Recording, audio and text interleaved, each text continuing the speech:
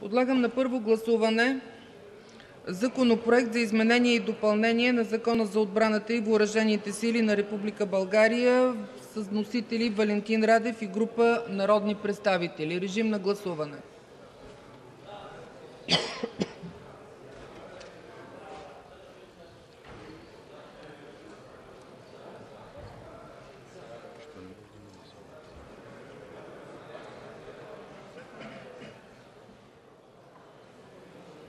Прекратете гласуването. Гласували 156 народни представители: за 156. Предложението е прието единодушно.